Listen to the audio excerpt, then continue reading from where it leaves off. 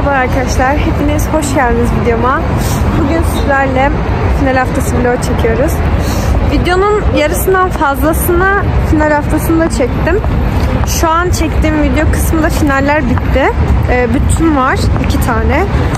İşte büte de çalışacağım yani aslında benim için final haftası bitmemiş oldu. Onları da size çekmek istiyorum.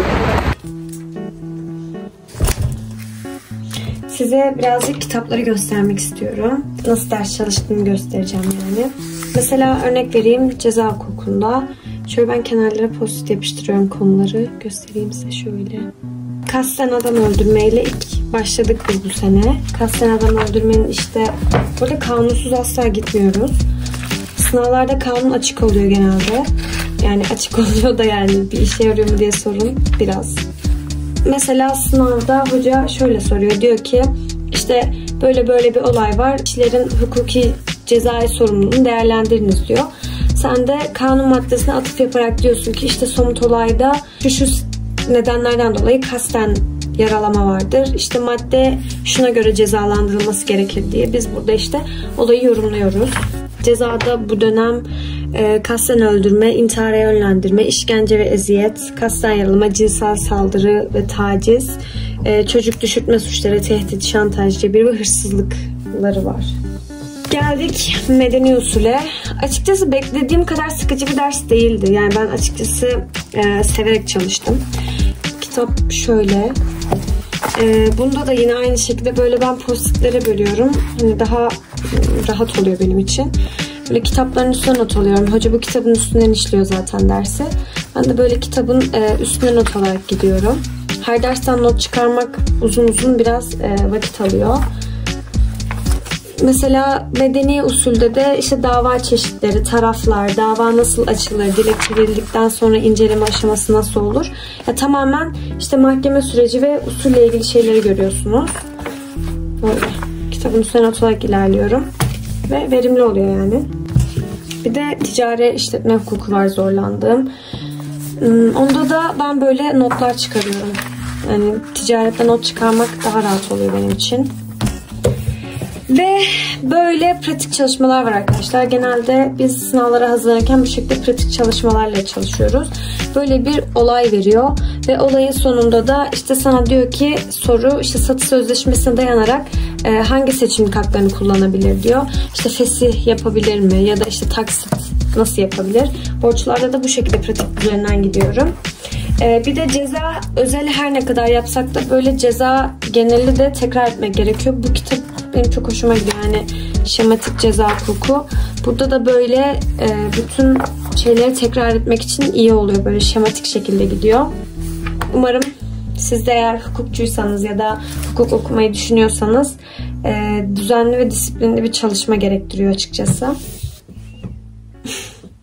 Durun şu telefonu şuraya koyayım size konuşacağım. Evet. Hepinize merhabalar. An beni kötü mü görüyorsunuz bilmiyorum. Ee, şu an okuldayız. Bugün ceza sınavımız vardı sabah. Ceza sınavından çıktık. Dün de ticaret vardı. Son iki sınavımız kaldı. Bugün Roma Kamu'ya gireceğiz. Ee, bir de yarın borçlar sınavı var. Ona gireceğiz. Yani sınavlar genel olarak bir tık beklediğimizden zor geldi açıkçası. Ama yine bunu bekliyorduk. Ya konular... artık şunu artık atacağım. Ee, kon... Vlog çekiyorum.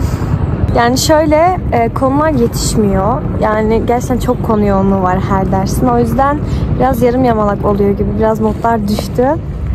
Şu an anksiyeten tuttu Ama öyle hallediyoruz bir şekilde. Yani muhtemelen bir iki tane bütümüz olacak. Bütler de sınavlardan biraz sonra. Evet arkadaşlar bugün Rabia Yan e, yemekhanedeki amca e, oğlunu oğlunu alma teklif Kanka şunu bir yap. bir evlilik teklifi aldı bugün. Evet bugün bir evlilik teklifi aldım arkadaşlar. Evet arkadaşlar böyle dediğimiz gibi yemekhane, memur yemekhanesi. Okulu göstereyim size. Şurada heykel var. Şöyle ki e, vergi sınavına bilerek gitmedim. Bütünlemeye bırakmak istediğim için. Çünkü tam hazırlanmamıştım. O yüzden dedim ki düşük almaktansa büte bırakayım. Diğer sınavlar için de yani muhtemelen ticaretten büte kalacağım. Yani geçemeyeceğim muhtemelen. Bilmiyorum bakalım. İnşallah diğerlerinden bütün olmaz. Yalanlar için. Bu nesle böyle ayak uyduracağım. Belki baktım parayı buradan kırdın anladın mı? Evet Furkan amcamız Furkan amcamızın yorumunu duyduysanız. Böyle arkadaşlar. Fakültemiz boş şu an. İki tane cücükle yemek yemeye geldik. YouTube'a video çektiğim için fakültede fazlaca haterlarım varmış. Hayır artık değildi. Neyse. İyi bir şey yapıyorsunuz bilin ki insanlar sizden nefret edecek. Bunu da buraya yazın. Burası GSF arkadaşlar. Güzel Sanatlar Fakültesi. Dur size biraz etrafı gösterebilirim. Arkadaşlar burası Güzel Sanatlar Fakültesi'nin bir girişi. Şurada nasıl giriş. Ee, şurası memur yemekhanesiydi. Şurası heykelin olduğu alan. Buradan şöyle yukarı sola doğru çıktığımız zaman hukuk fakültesi. Aşağı doğru gittiğimizde de işte merkeze doğru iniliyor. Böyle. Bir de şunu söylemek istiyorum. Ben e, hiçbir sınav haftasında bu kadar yorulduğumu hatırlamıyorum. Çünkü vizelerimiz bitti ve vizeler bittikten e, hemen sonra bir arada bir ay oldu ama yine böyle bir sınav hazırlanmaya başladık. İşte dönemlik sistemi bir tık kötü yanı bence. O yüzden böyle sürekli artık sınav çalışıyormuşum gibi geldiği için ve konular, dersler çok yoğun olduğu için ay durun. Yani çok fazla ders olduğu için temel ders yani en- şu an 8 tane dersim var. Ve hani bunların müfredatının hepsi çok yoğun olduğu için ve uzun süredir sınav çalıştığım için artık gerçekten çok sıkıldım ve hani son 2-3 sınava böyle neredeyse ağlayarak çalışacağım abartmıyorum yani gerçekten o kadar artık sıkıldım. O yüzden yarın son sınav olduğu için biraz mutluyum. Yani bütü de olsa en azından araya biraz vakit gelecek. Elmam düştü. Umarım biraz ilk dönemin vizelerine kadar dinlenmiş olurum. 3 yıl zormuş arkadaşlar. 3 yıl hukuk fakültesi zormuş. Yenilgiyi kabul ediyorum. Aynen. Şu an tam tersi oldu.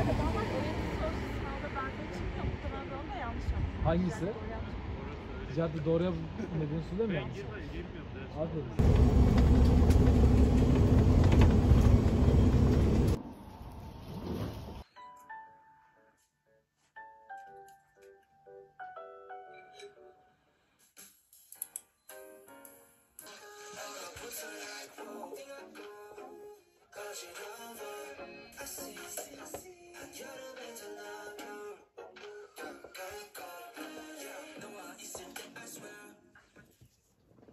Yarın bir de sınav 11'de. Yani sabah da çalışamayacağım. Bu gece uyumam muhtemelen. Yani şunu fullden bitirmem lazım. Bakalım.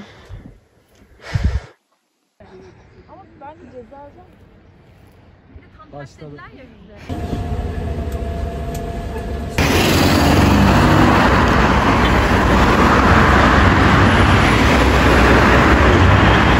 Kütüphaneye geldim şimdi. Gerçekten son sınav. Kendime güç vermeye çalışıyorum. Yemek aldım. Şimdi arkadaşımla onu yiyip ders oturacağız. Yani son sınav olmasa bilmiyorum nasıl çalışırdım. Artık o kadar takatim kalmadı.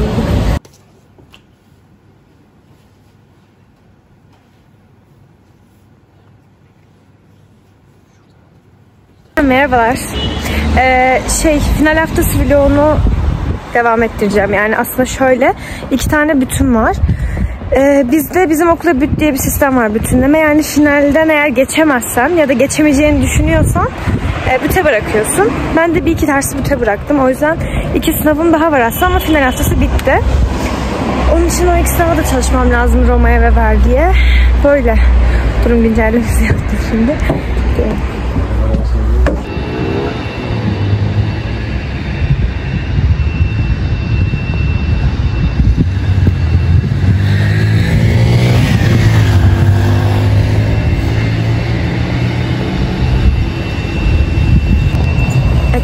günaydın.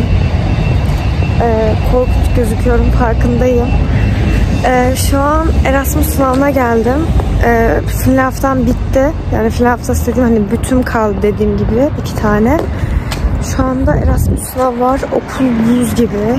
Ya zaten Hacettepe'nin şöyle bir durumu var. Ay salyangoz ezdim sandım. Hacettepe'nin şöyle kötü bir yanı var. Normalde merkezden 1-2 derece fark ediyor soğuk. okul. Gerçekten şu an kamerayı elini tutarken donuyor elim. Okul şu an çok boş. Yani Hacettepe'nin bu halini çok seviyorum bu arada. Böyle okulun boş olduğu vakitlerde yürüyüş yapmayı çok seviyorum. Böyle. Siz bunu izlediğinizde benim sınavım nasıl geçtiği belli olmuş olacak.